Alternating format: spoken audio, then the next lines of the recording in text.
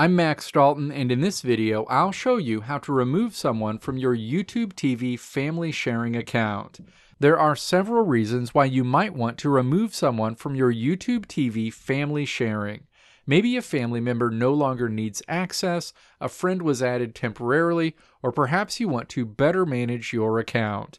Removing users who no longer need access to your YouTube TV account can help keep your account secure and ensure your subscription is used by only those who really need it. Step 1. Open a web browser, navigate to tv.youtube.com, and then sign into your YouTube TV account if prompted. You'll land on your YouTube TV home screen.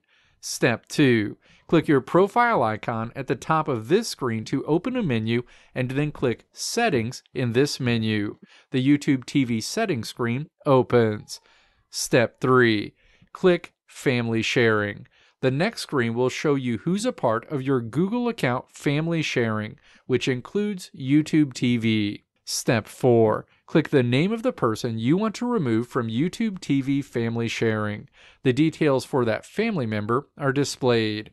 Step 5. Click Remove Member. The next screen asks if you're sure you want to remove this family member. Step 6. Click Remove. That person will be removed from your YouTube TV family sharing immediately.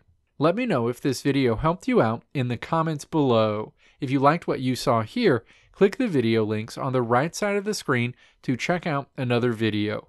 Or click the logo on the left side of the screen to check out my tutorial website at www.maxdalton.how.